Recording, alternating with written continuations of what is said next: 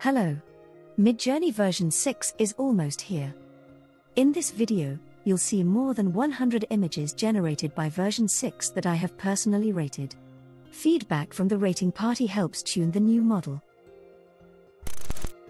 You can start rating images by signing in at the internet address shown. I've rated several hundreds of images thus far. Midjourney developers ask you to rate images by which image is the most beautiful of the two shown. In other words, just pick the image on each screen that you prefer. The two images shown may be similar or completely different. Just select the image that you like best, and you'll be shown two more images. It is easy to rate images by clicking with the mouse, or by pressing the number 1 on the keyboard to show you prefer the left image. Press number 2 if you prefer the right image. Or press number 3 if you're not sure. It should be fun to see if you agree with my selections, or if you prefer different images. The choices all go into the mix of helping to tune the Midjourney application for version 6. Enjoy!